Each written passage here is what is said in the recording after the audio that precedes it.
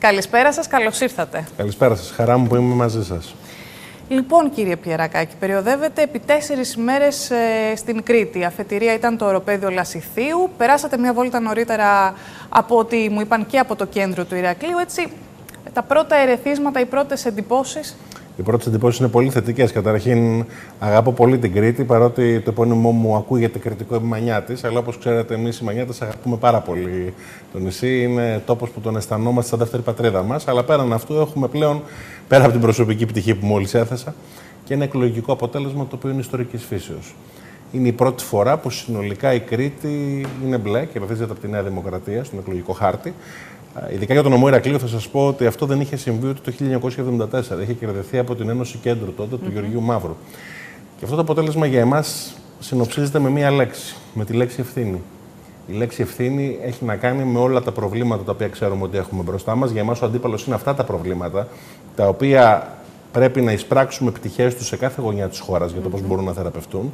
Και αυτό ακριβώς είναι που περιμένουμε να κάνουμε μετά το επόμενο εκλογικό αποτέλεσμα, το βλέμμα μας είναι στραμμένο στην 26η Ιουνίου, οφείλω να πω. Παραπάνω από ό,τι στην 25η Ιουνίου. Φυσικά η κάλυψη της 25η Ιουνίου είναι άδεια. Το αποτέλεσμα της 21η Μαου είναι πολύ σημαντικό, είναι ιστορικό. Εκ νέου λοιπόν πρέπει να διεκδικηθεί η ψήφος των πολιτών, η εμπιστοσύνη των πολιτών, η εντολή των πολιτών για να κάνουμε όλα αυτά τα οποία ο Κυριάκος Μητσοτάκης κομίζει και όλα αυτά τα οποία εγγυάται με την παρουσία του και με το πρόγραμμά του. Πάντως αισθάνομαι ότι σε επικοινωνιακή βάση, αν μιλήσουμε, η παρουσία σας επί τέσσερις ημέρες στο νησί μας δεν είναι καθόλου τυχαία. Τι εννοώ τώρα; Είστε κατά γενική ομολογία ένας πετυχημένος υπουργός με θετικό πρόσημο σε ό,τι αφορά τη δουλειά που έχετε κάνει και το χαρτοφυλάκιό σας, εξαιρετικά δημοφιλής, αγαπητός, νέο πρόσωπο, άρα επικοινωνιακά θα έλεγε κανείς και η πιο κατάλληλη επιλογή για να αλλιεύσετε ίσως ε, ψήφους, να το θέσω με αυτόν τον τρόπο, ή να προσεγγίσετε κόσμο από το κέντρο ή ακόμη και από τις τάξεις των αναποφάσιστων. Εγώ θα σας πω πάλι ότι είναι ιδιαίτερη χαρά μου κάθε φορά που έρχομαι στην Κρήτη. Αλλά επιτρέψτε μου να τονίσω κάτι άλλο, μιας και αναφέρατε το κέντρο. Υπάρχει μια μεγάλη συζήτηση για την πολιτική κληρονομιά του Ελευθερίου Βενιζέλου.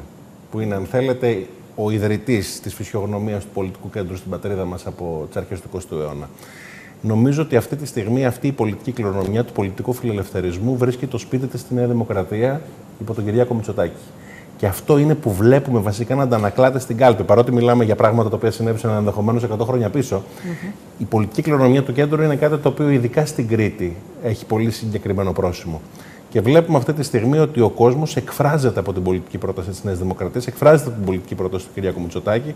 Επιτρέψτε μου να πω ότι σε προσωπικό επίπεδο αυτό ακριβώς είναι για το οποίο συστρατεύουμε αυτό το πάντρεμα των δύο ιστορικών κληρονομιών του Ελευθερίου Βενιζέλου και του Κωνσταντίνου Καραμαλή στο 2023 και στα προβλήματα του 2023, που είναι άλλα, που είναι άλλες οι κρίσεις, είναι άλλα τα διακυβεύματα. Ο Κυριάκο Μητσοτάκης είναι, αν θέλετε, ο βέλτιστος διαχειριστής αυτών των προβλημάτων και ο άνθρωπος με το όραμα για να μπορέσει να οδηγήσει τη χώρα στο μέλλον. Και η λέξη μέλλον είναι η λέξη κλειδί βασικά. Γιατί ακόμη και σήμερα βλέπουμε να συζητούνται πράγματα όπως το άρθρο 16. Πράγματα τα οποία τα συζητούσε, αν θέλετε, όχι η δική μου γενιά όταν ήμασταν στα αμφιθέατρα, η γενιά των γονιών μου. Και βλέπουμε όλο τον υπόλοιπο κόσμο να συζητάει άλλα και την Ελλάδα σε κάποια σημεία, το πολιτικό της σύστημα, να είναι εγκλωβισμένο στο παρελθόν. Η πολιτική μας πρόταση είναι μια πρόταση που βασικά μιλάει με το μέλλον. Και ειδικά η Κρήτη είναι ένα μέρος όπου ναι, μεν είμαστε στο Νότο, αλλά όταν έρχεσαι αισθάνεσαι ότι είσαι στο κέντρο. Είσαι στο κέντρο ερευνητικά, αν πάει κανείς στο ΙΤΕ, αυτό το βλέπει. Είσαι στο κέντρο της επιχειρήσης της Κρήτης, στο τουριστικό της προϊόν, στα προϊόντα της, αλλά πέρα και πάνω από όλα στου ανθρώπους της. Και αυτό το δυναμικό είναι που θέλουμε να απελευθερώσουμε σε κάθε γωνιά της χώρας. Εγώ θα πω απλώς εδώ το νιώθεις εντονότερα και λόγω της ιστορίας και λόγω των ανθρώπων. Και αυτό μπορεί να γίνει μόνο εάν ξεφύγουμε από τις προσλαμβάνουσες και τον εγκλωβισμό στα σύμβολα του χθες. Πρέπει να φύγουμε προς το μέλλον. Αυτή είναι η πρότασή μας. Τώρα, σε ό,τι σας αφορά, γιατί ένας τεχνοκράτης να μεταπηδήσεις στην πολιτική; Αρχικά πιστεύετε σε αυτή τη διάκριση; Καθόλου. Αυτό ήμουν έτοιμος να σας πω. Δεν πιστεύω στη διάκριση. Πιστεύω ότι ειδικά με την πολυπλοκότητα των προβλημάτων του σήμερα, άπαξ και αναλαμβάνει πολιτικό ρόλο, άπαξ και γίνεσαι υπουργός, δεν υπάρχει ένα τεχνοκράτης. Είσαι πολιτικός. Ασκείς πολιτικό ρόλο. Υπό την έννοια του ότι ό,τι κάνεις έχει συγκεκριμένες επιπτώσεις στην κοινωνία, αλληλεπιδρά με την κοινωνία και πρέπει να μπορείς να την αφουγκράζεις. Από εκεί και πέρα όμως, άμα δεν έχεις και τεχνική γνώση του τομέα που διαχειρίζεσαι, αν δεν μπορείς γρήγορα να μπεις σε πάση περιπτώσει, γιατί δεν τα ξέρουμε όλοι όλα, άλλοι νομίζουν ότι ενδεχομένως τα γνωρίζουν όλα.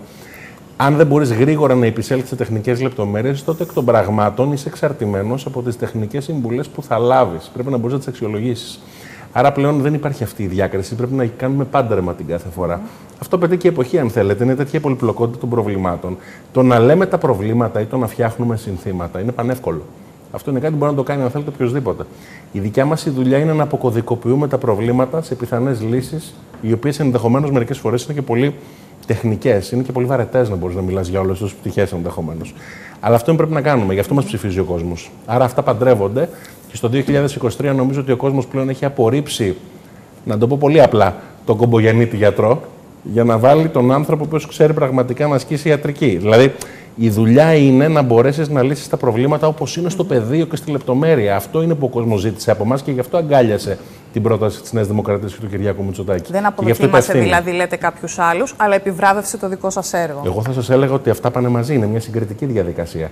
Και εκ των πραγμάτων, τι είδαμε. Ακόμη και πριν άκουσα τον αρχηγό της αξιωματικής αντιπολίτευσης πριν ε, έρθω στο στούντιο, στην, ε, στην τηλεόραση. Η ίδια η ορολογία είναι λάθος η εποχή, το ημερολόγιο γράφει 2023. Όλα αυτά τα βαριά επίθετα, όλοι αυτοί οι χαρακτηρισμοί έχουν κουράσει.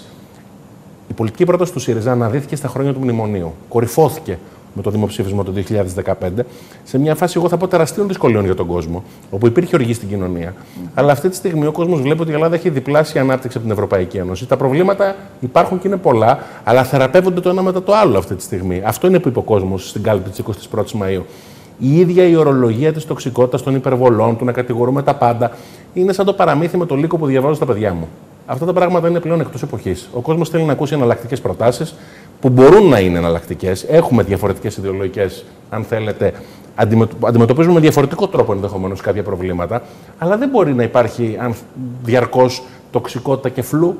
Πρέπει Πάντως, να είναι συγκεκριμένα τα πράγματα. Είναι και εκείνοι οι οποίοι σας προσάπτουν το εξής, ότι βγαίνετε, μιλάτε και υπόσχεστε ε, πλουσιοπάροχα πράγματα, τα οποία δεν συμβαδίζουν ίσως με τη συγκυρία που είναι εξαιρετικά ρευστή για τις αυξήσεις, ας πούμε, στους μισθούς, στις συντάξεις κτλ. Δεν θα συμφωνήσω με αυτό για τον εξής λόγο. Οι εκλογές δεν είναι ποτέ απολογιστικές καταρχήν. Δηλαδή, πάντοτε ο κόσμος ψηφίζει για το μετά.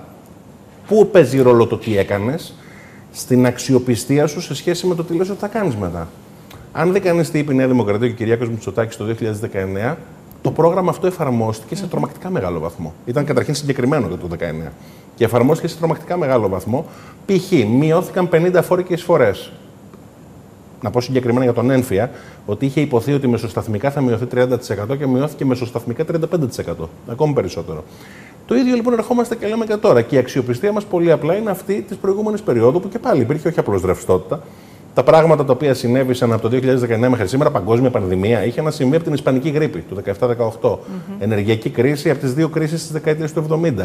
Πόλεμο στα ευρωπαϊκά σύνορα, υβριδική κρίση στον Εύρο ε, και στα νησιά.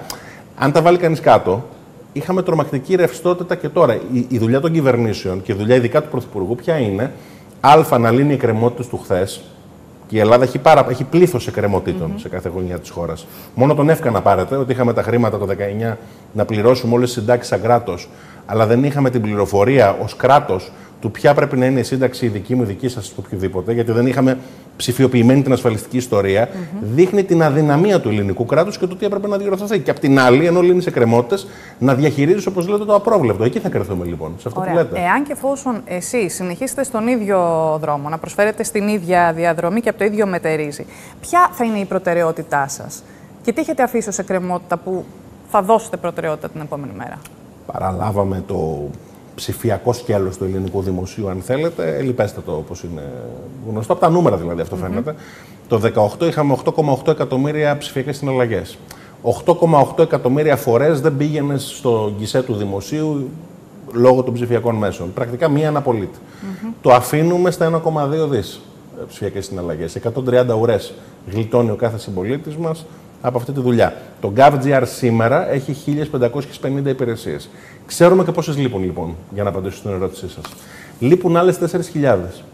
Το κράτος συνολικά στην Ελλάδα μετρήθηκε σε όλα τα επίπεδα, όχι μόνο το, το κεντρικό κράτος, είτε είναι ένας Δήμος, είτε είναι μια περιφέρεια, είτε είναι μια ανεξάρτητη αρχή. Άθροισμα 5.500. Ξεκινήσαμε απλώς από τις πιο συχνές υπηρεσίες που χρησιμοποιούσε ο πολίτης. Κάποιες βέβαια συχνές εκκρεμούν ακόμα, όπως λέτε. Πρώτη, μεταβιβάσεις ακινήτων. Μεταβιβάσεις ακινήτων Χρειάζονται ένα σύστημα στο συμβολιογράφο για να μπορεί να αντλεί αυτόματα τα στοιχεία, ειδικά όσο θα τρέχει κτηματογράφηση στη χώρα. Αυτό είναι ένα θέμα, βέβαια. Γιατί τρέχει με τελείως διαφορετικές ταχύτητες σε πάρα πολλά σημεία και με πολύ χαμηλή, χαμηλό ενδιαφέρον προσέλευσης. Βέβαια, για πρώτη φορά η κτηματογράφηση έχει πλέον, αν θέλετε, ορατή ολοκλήρωση. Εντός τετραετίας θα έχει ολοκληρωθεί το κτηματολόγιο. Τρέχει δηλαδή όλη η διαδικασία και με ένα νέο νόμο τα δικαιώματα θα έχουν αντανάκλαση στο ψηφιακό σύστημα. Αλλά σε κάθε περίπτωση αυτό, μαζί με την ψηφιοποίηση των υποθηκοφυλακίων και των κτηματολογικών γραφείων σε όλη τη χώρα, αν το δείτε ευρύτερα, χωρίς το Ταμείο Ανάκαμψης όλα αυτά δεν θα μπορούσαμε να τα είχαμε πετύχει. Δίνουμε 700 εκατομμύρια ευρώ και, παρα, και λίγο παραπάνω για την ψηφιοποίηση όλων των αρχείων της χώρας. Είτε είναι στα υποθηκοφυλακία, είτε είναι στις πολεοδομίες, είτε είναι στα δικαστηρια είτε είναι στα νοσοκομεία, είτε είναι στον ΕΦΚΑ για να βγαίνουν συντάξεις αμέσως. Αυτό είναι 7, περίπου 7,5 δισεκατομμύρια σελίδες που είναι αυτές οι στίβες που βλέπουμε στις διάφορες φωτογραφίες, στις διάφορες υπηρεσίες του δημοσίου. Όλα αυτά θα έχουν ψηφιοποιηθεί εντός τριών ετών. Δηλαδή, θα ξεκινήσουμε το σύστημα για την αυτόματη μεταβίβαση ακινήτων στους συμβολιογράφους, που θα δουλεύει καλά για το κομμάτι που θα έχουμε λειτουργούν κτηματολόγιο.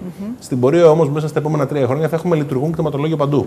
Άρα, βήμα-βήμα χτίζεται το νέο οικοδόμημα του κράτους. Λοιπόν, κύριε Πιερακάκη, σήμερα ακούσαμε τον κύριο Μητσοτάκη να επαναλαμβάνει τη στόχευση και την πρόθεσή του στο να μην μετέχουν στην επόμενη κυβέρνηση, ενδεχομένως ακόμη και πρωτοκλασσά τα στελέχη. Εσείς πώς το ακούτε αυτό, και αν κληθείτε να προσφέρετε σε ένα νέο πόστο; Θα σας πω το αυτονόητο ότι η κυβέρνηση σχηματίζεται και γεννιέται από την αντανάκλαση των απόψεων του Πρωθυπουργού σε σχέση με το ποιος από εμάς και ποια από εμάς είναι κατάλληλη για ποιο πόστο.